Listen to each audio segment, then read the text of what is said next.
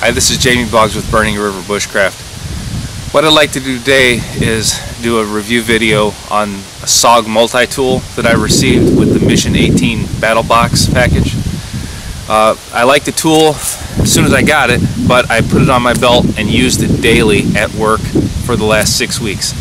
Uh, rather than just look at a tool, uh, say it's neat, I actually wanted to use it and you know beat on the thing a little bit before I actually formed an honest opinion. So I'll go over the tool first and then I'll do a quick demo of it and then I'll give you my final thoughts. The SOG tool came in a ballistic nylon black sheath, uh, Velcro, and it actually had MOLLE attachments on the back. I had never encountered those before.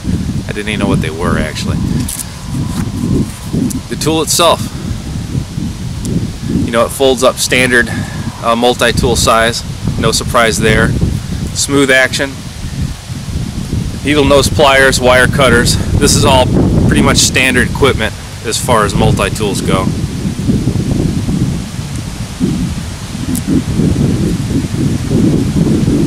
It does have a saw, fairly aggressive saw, a file, coarse and a fine file.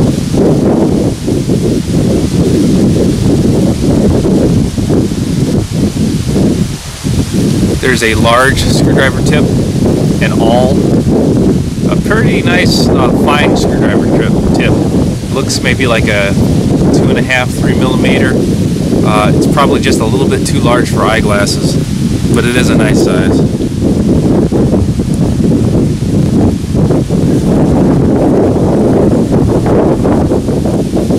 On the other side, I've got a standard clip blade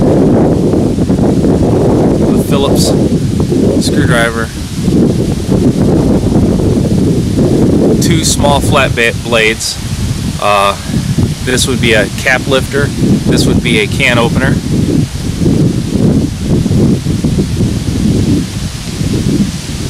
And then there's also a serrated edge uh, blunt point knife. The blades do lock into place. Uh, the release the release are two knobs that stick out on either side.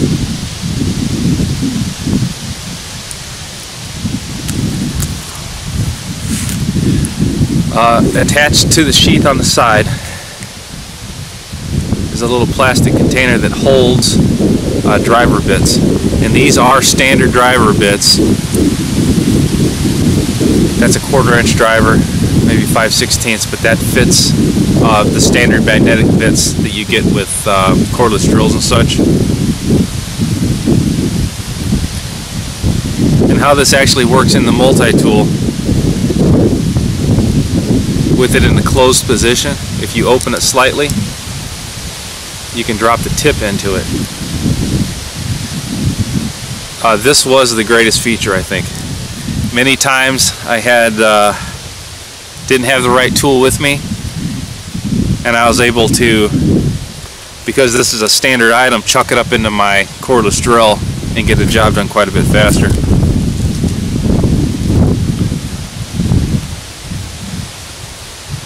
Kind of a geared action on it as it opens and closes. It is very smooth. That is the first thing you notice when you open this is the uh, the way the thing opens. I've handed it to several people, let them use it on small jobs, and I always get the same response. It feels a lot better and a lot different than the standard multi-tools like a Leatherman, uh, which seems to be the industrial standard. So as far as woodsman use of a multi-tool, uh, the key thing you're going to be using is your needle nose pliers. That's going to let you lift hot items out of a fire, uh, manipulate any type of hot tools, any type of uh, cutting of wire that's found in the woods or that you bring with you. Quick example of that. I got some trapper wire out here with me. Uh, this is a number 14 gauge. This is pretty standard wire. This is going to cut this stuff with no problem.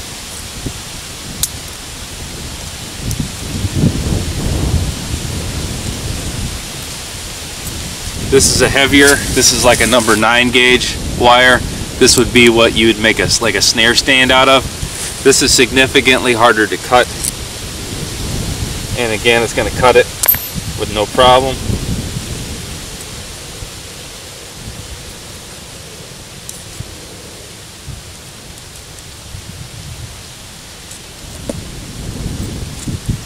Also, if this was a uh, a stake, a cable stake, you were trying to anchor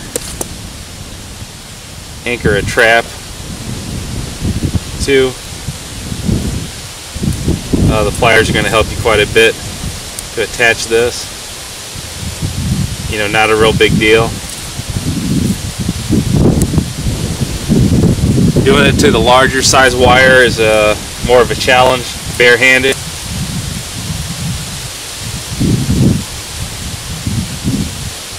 But it'll do that too.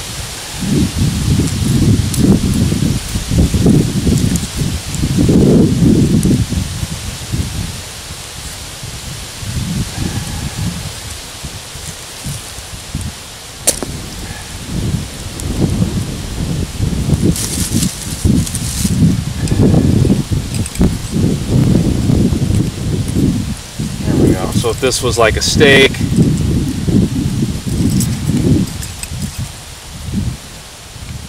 this let you wrap it around.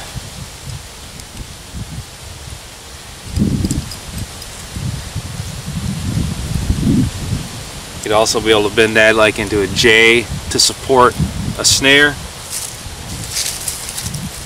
Speaking of snares, this is an unmade snare. This is uh, a 332nd snare cable. This is pretty hard to cut and you see it kind of smashes as it cuts through it. So this is definitely not the right tool for the job. Hands are a little cold here. But you can see it'll do it. There. That's not too uh, smashed.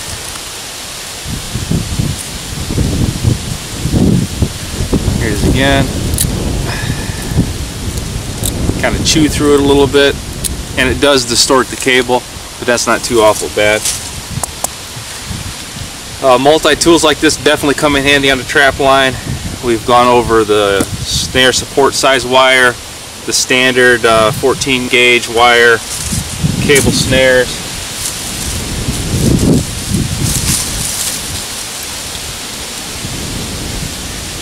This is uh, old uh, swivel off a trap.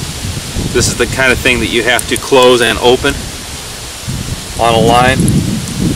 This is not what you would want to use for it. You would want to carry a pair of lineman's pliers specifically for this.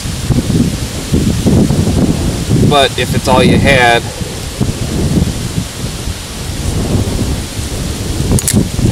it'll get the job done. look at that. I guess it didn't get the job done. Failure. Look at that. Broke the pin.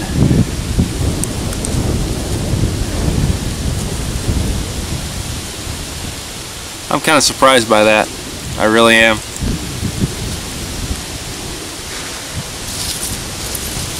I was also going to attempt to cut a piece of chain with it. I thought that was going to be difficult but uh, I didn't think this was going to be that big of a problem.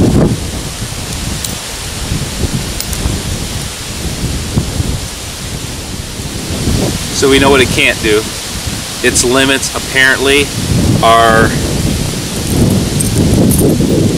just closing up a uh, J-hook. You know, this is fairly soft metal. You can do that with linesmans all day long. Uh, that's that's pretty awful, in my opinion.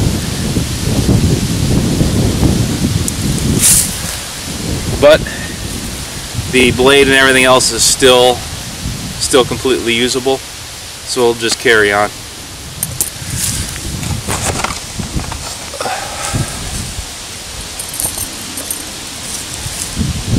So God forbid if this was your only knife, but if you needed to,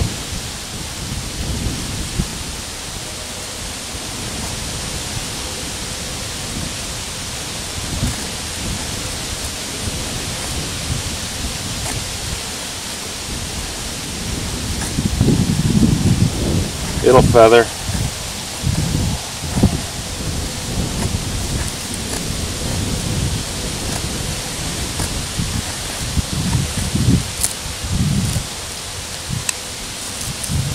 Less than ideal, but it does do the job. Uh, let's see.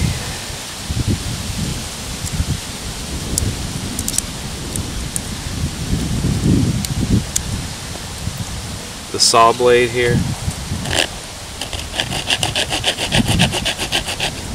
Does a pretty good job actually.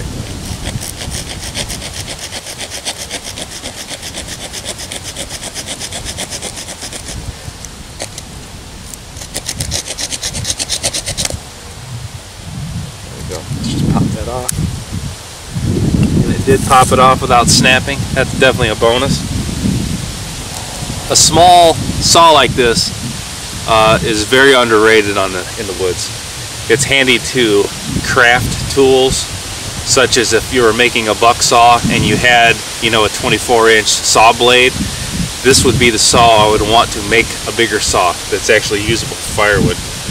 I'm going to take the back of my saw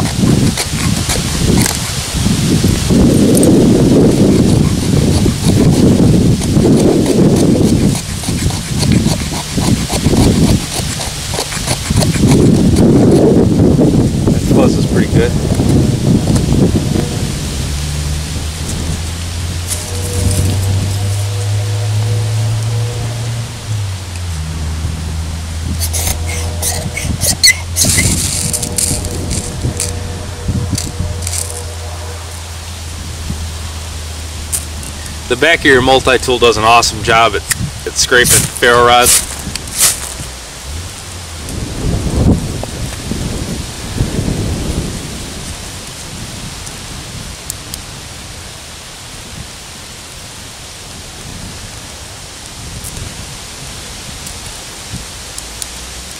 One of my favorite tools actually that was included in this is an awl.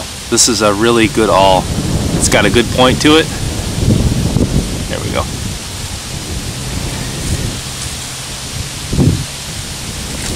I also like to use an awl to scrape.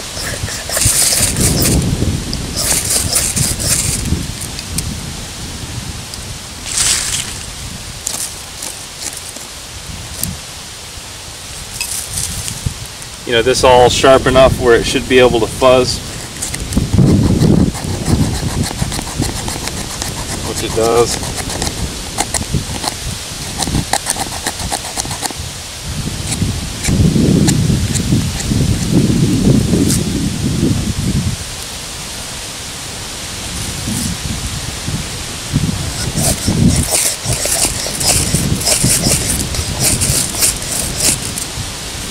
okay so the awl works for that.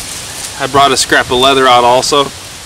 So if you were repairing any type of gear, that went through that with like zero effort.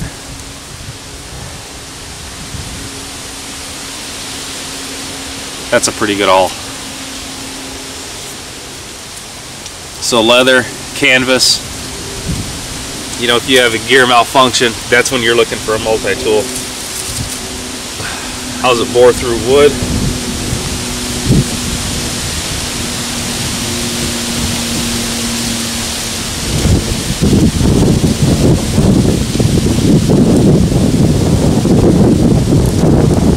See the lock just failed on me. Uh, I'm holding it clear so it wasn't a big deal. That was a knife blade, I'd be in trouble.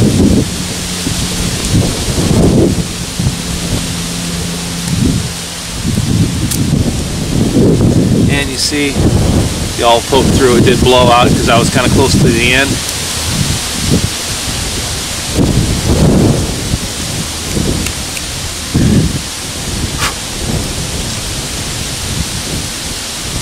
That's a pretty good hole. Uh, this is just fat wood, so it's pine, so it's fairly soft stuff. But it went through there like, uh, but no problem. There we go.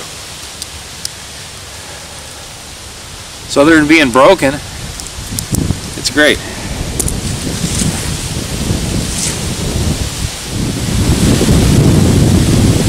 So my final thoughts on the SOG multi-tool.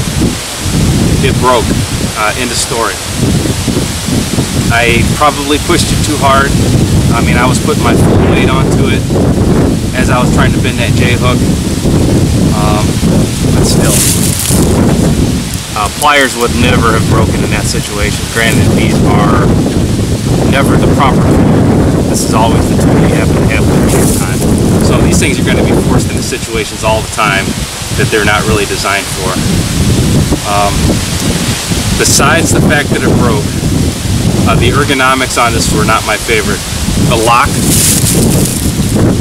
on the side that locks the blade into place. These slide up to unlock. So whenever you're using the tool, you've got these four metal protrusions right in your hand digging the entire time. Very, very uncomfortable. Uh, I never used this for extended periods of time carving, so I never really got any hot spots, but you didn't want to have this in your hand for any extended period of time. I did have the lock fail on the awl. When I was using the awl, it did fold up on me. Uh, I was boring through wood at the time, so I was really digging into the thing, and it was no harm, no foul. It just folded up on me, and I opened it up again, and it stayed locked. But if this was the knife blade, you know, obviously cut yourself. Not good the one hand stud, uh, the cutout for one hand opening. That's a handy feature. I use this quite often. However, I normally carry a Leatherman, and the Leatherman, I rotate it 180, and I've got my serrated edge on the other side for a one-handed stud also. With this, I've got my right thumb opens the, the standard clip blade my left thumb is what you'd have to use to open the serrated edge.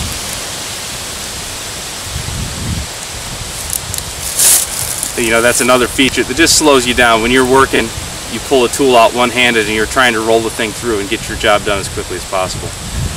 Uh, the, the sheath I didn't care for. I didn't care for the, the ballistic nylon sheath. Part of it was my fault. Um, I did not use the MOLLE clips properly.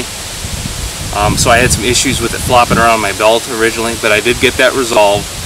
But just the look of the, you know, the black tactical nylon with the little skull on the button, not really what you're trying to go for at all times, especially me. Um, the Velcro instead of a metal snap, I didn't care for at all. I would catch the Velcro on certain things and it would shift to the side. Never lost a tool, never had it fall out, uh, but I definitely prefer a snap over Velcro. Uh, the nylon actually seemed to hold up okay. Uh, leather sheaths I've had for years and they do wear out and they do get really sloppy loose. The nylon seemed to work out over the short term. I just didn't care for the tactical black and the MOLLE was not my favorite and if I had a snap that didn't have a big skull on it I would have been happier about that. Uh, also the, uh, the bit attachments on the side added significant width to the tool on your belt. You know, I've got a lot of stuff on my belt anyway when I'm working, so I don't have a lot of uh, space for extra things. So belt space is a premium, and I didn't really appreciate having that on there. It would catch quite often. So this tool, I mean, it did everything that any light duty work it would accomplish. Uh, slightly bulky, not my favorite on the belt. This would definitely be more suited to like a tackle box uh, I would not have this on a trap line as a first choice. I can see why, because I was unable to bend just a simple J-hook. Uh, but for the most part, it does everything it needs to, except for complete utter failure with the pliers when I put too much pressure on it.